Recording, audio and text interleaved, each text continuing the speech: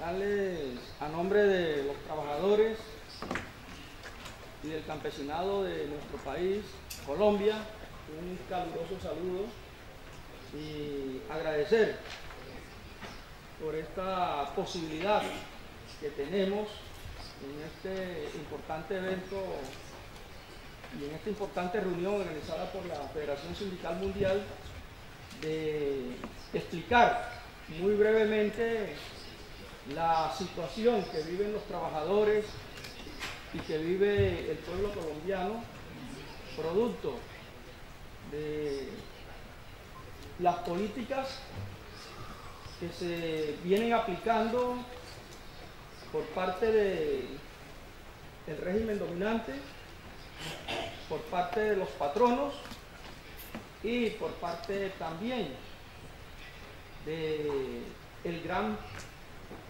poder del capital transnacional que llega a nuestro país con la idea de inversionismo, que en la práctica son eh, falsos dilemas.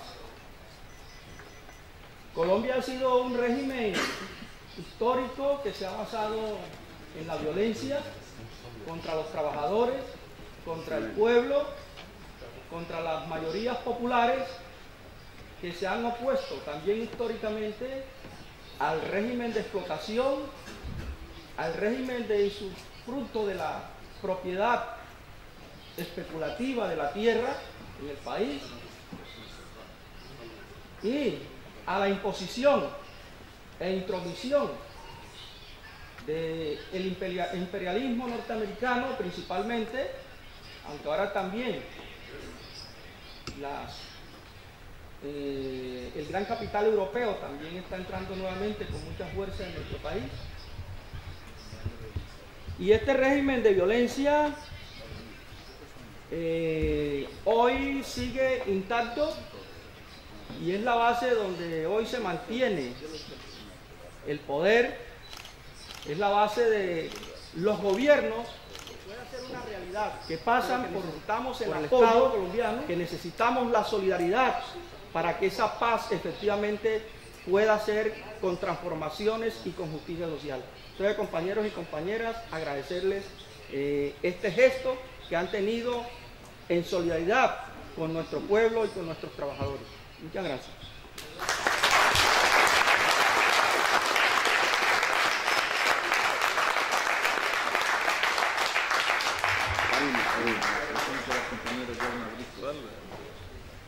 En primer lugar, felicitar a las organizaciones sindicales que han decidido su ingreso ya a la Federación Sindical Mundial.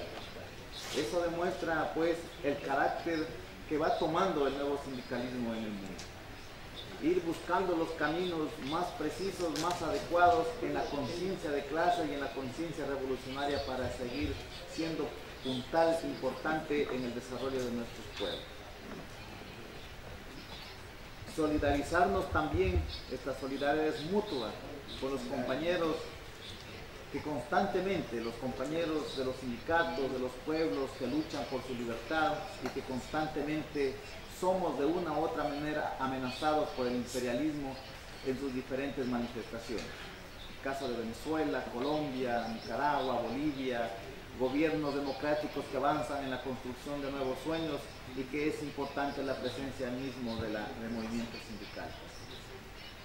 Pues eh, estando de acuerdo con el plan de acción que aquí el compañero Mabrico se ha manifestado, pues nosotros como Confederación de Trabajadores del Ecuador apoyamos más que nadie ir impulsando estas acciones que nos permitan al sindicalismo de clase al sindicalismo revolucionario, avanzar en la construcción y sobre todo lo que es más, ir fortaleciendo en todos los cinco continentes. Con el apoyo de los gobiernos al servicio del capital, detrás de ellos el dominio imperialista. Así tenemos que mirar un poco la historia para entender lo que ocurre en, nuestro, en Colombia. Lo que, ocurre, lo que está ocurriendo en Colombia lo ha ocurrido en los demás países de nuestra América. Tuvimos la tragedia en Argentina, sufrieron en Bolivia, en mi país, en Perú, en Centroamérica, es decir, no se salvaron ninguno de nuestros países. El dominio de la clase dominante, pero con la violencia. Por lo tanto, como quiera, que el tiempo nos gana, solamente quiero, como Federación Sindical Mundial que lo sentimos, agradeciéndole a este equipo, la Asociación Internacional de, Lucha por la Paz con Colombia y el Mundo, que desde hace 10 años vienen contribuyendo a la difusión, suministrando información a nuestra federación y a las demás organizaciones. Igual el equipo de la Federación Sindical Mundial que actúa en los sindicatos afiliados al FCM en Colombia, quienes suministran y libran grandes acciones de lucha. No día 28 de maio, fizemos uma reunião e aprovamos um plano de ação em sintonia com o aprovado pela FSM. Nesse sentido, nós aprovamos no dia 8 de julho, reuniremos as centrais sindicais filiadas e amigas da FSM para organizar o dia 3 de outubro nos principais estados do Brasil. Aprovamos também a participação através de uma delegação brasileira nesse importante encontro antiimperialista que iremos realizar através da COB, da FSM, na Bolívia. Queremos também reforçar que o secretário-geral Mavricos apresentou aprovado. Government of Colombia. And that a mandate is given that if after at a given time nothing a change I mean the change we're expecting in Colombia does not happen. We will mobilize if at least the Latin American countries to go against any goods that come from Colombia to work against the government of Colombia I am moving this motion with the expectation that the House will accept it. Is it accepted? Du renouvellement du conseil d'administration de l'OIT et d'autre part à travers véritablement les formations syndicales qui s'organisent. Par exemple avec l'ACTRA, avec Turin. Il est nécessaire et fondamental pour un travail de pouvoir avoir une bonne formation syndicale. Mais on peut dire qu'aujourd'hui, ce sont les organisations membres de la CSI qui bénéficient de ces formations. Donc moi je pense que c'est fondamental et nécessaire parce que je ne peux pas véritablement tout développer, mais en réalité, العمالية والنقابات أصحاب العمل في الحقيقة هي مغالطة كبيرة عندما قال أمضينا عقد اجتماعي؟ والسيد رويدر أيضا رويدر أشاد بذلك لكن هي مغالطة حقيقية في اتجاه بناء ديكتاتورية جديدة.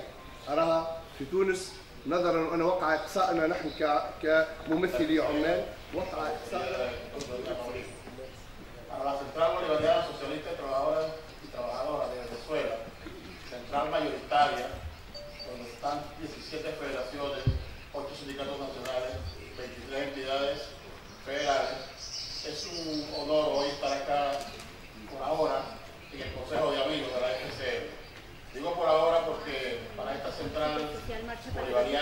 Saludamos a las delegaciones pertenecientes a la histórica Federación Sindical Mundial FCM con ocasión del encuentro de la campaña por la libertad de las y los prisioneros políticos colombianos.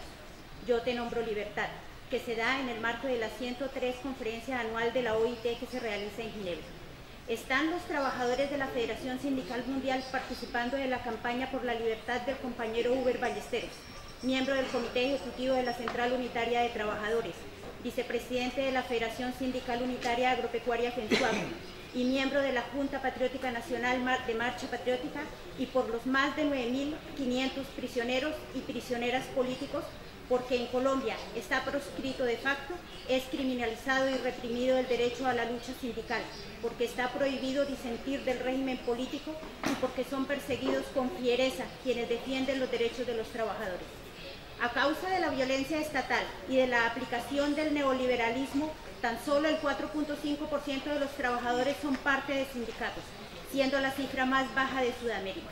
El otro 95.5% de los trabajadores no tiene derecho a la asociación porque están precarizados, tercerizados o en condiciones de servidumbre. El 68% de los trabajadores está en el sector informal y devengan menos de un salario mínimo vital. Aún más, Colombia, con la cifra más baja de sindicalización, es el país en el que más asesinan sindicalistas en el mundo. Según informe de la Central Unitaria de Trabajadores CUT, entre abril de 2011 y febrero del 2014 han sido asesinados 73 sindicalistas. Se han registrado 6 desapariciones forzadas y 953 amenazas de muerte y desde 1970 a la fecha el 95% de los casos de asesinatos, desapariciones y amenazas están en la impunidad. Estas cifras no recogen las acciones de violencia en contra de los trabajadores que no están sindicalizados, que son la mayoría, y que de igual manera sufren la persecución del Estado producto de las reclamaciones por trabajo digno y regularización de la actividad laboral. Por ejemplo, en el paro nacional agrario y popular de 2013 fueron asesinados 21 trabajadores agrícolas, fueron mutilados por armas, eh, con armas convencionales de la fuerza pública 215 trabajadores agrícolas y fueron encarcelados 600. Tal violencia y sus nefastas consecuencias son las condiciones impuestas por el capital y por las clases dominantes en la lucha inclaudicable de los trabajadores. Son décadas de resistencia y de organización que han sobrepasado la espiral de crímenes y de los ataques por acallar a los trabajadores. Han logrado, eso sí, que muchos antiguos sindicalistas estén hoy de su lado, como el vicepresidente Angelino Garzón, expresidente de la Central Unitaria de Trabajadores y hoy representante de los sectores más atrasados de la clase política colombiana. Sin embargo, y bajo estas condiciones, el pueblo colombiano está en las calles, construyendo organización social y popular para constituirse en alternativa de los trabajadores y trabajadoras. No hemos cesado ni un segundo de trabajar por reconstruir el entramado organizativo de las comunidades y de los trabajadores y trabajadoras y somos parte de la vanguardia colectiva que propugna por justicia social, por soberanía y por democracia real, entendiendo que debemos trascender el modelo capitalista y sus formas de dominación para lograrlo. Ni el encierro, ni el exilio, ni la muerte serán suficientes para acallar a nuestro pueblo máxime cuando sentimos el abrazo solidario de los trabajadores del mundo, cuando sabemos que en ningún rincón se ha, tenido, se ha detenido la lucha por superar dialécticamente al capital, poniendo al trabajo como centro de poder para que acabe con tales injusticias e inequidades. Desde la cárcel, Uber Ballesteros nos dice, Hoy, a pesar de las circunstancias, no me siento ni derrotado ni relevado de mis responsabilidades como luchador social y político del movimiento popular en Colombia, en América Latina y el mundo.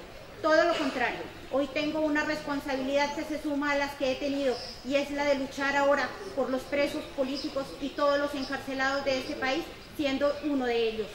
Desde esta, mi nueva trinchera de lucha, Trabajaré día y noche por los campesinos, los indígenas, las negritudes, los trabajadores de todos los sectores populares, aún en medio de las condiciones en que me encuentro, situación a la que he llegado, no por corrupto, no por traidor a mi clase y a mi pueblo, sino por todo lo contrario, por obrar conforme a mis principios y convicciones. Y envía un saludo a todos los militantes de la libertad para que sigamos trabajando incansablemente por conseguir nuestros objetivos. Comillas. Agradezco a todas y a todos, a las organizaciones campesinas, indígenas, de negritudes, a la CUT, a las organizaciones internacionales, a los amigos y amigas, a quienes de una u otra manera han mostrado su indignación por